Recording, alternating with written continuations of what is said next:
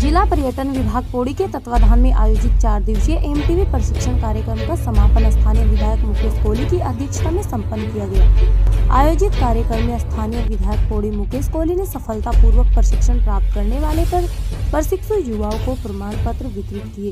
उन्होंने कहा कि साहसिक खेलों में माउंटेन बाइकिंग अपार संभावनाएँ हैं। सरकार के द्वारा साहसिक खेलों को बढ़ावा देने के लिए लगातार प्रयास किए जा रहे हैं। जिला पर्यटन परिसर पौड़ी में आज चार दिवसीय माउंटेन बाइकिंग प्रशिक्षण कार्यक्रम के समापन अवसर पर स्थानीय विधायक मुकेश कोहली ने कहा कि पौड़ी में एडवेंचर खेलों की अपार संभावनाएँ हैं, जिसके लिए सरकार द्वारा निरंतर कार्य किए जा रहे हैं। उन्होंने कहा कि माउंटेन बाइकिंग से जुड़कर स्थानीय युवा साहसिक खेलों में अपना भविष्य बना सकते हैं। उन्होंने प्रशिक्षण प्राप्त करने वाले युवाओं को बधाई देते हुए कहा कि युवाओं की ओर से लगातार प्रयास किए जाने की आवश्यकता है, जिससे युवा साहसिक खेलों में भविष्य बनाकर अपनी आर्थिक मज़बूत कर सकेंगे।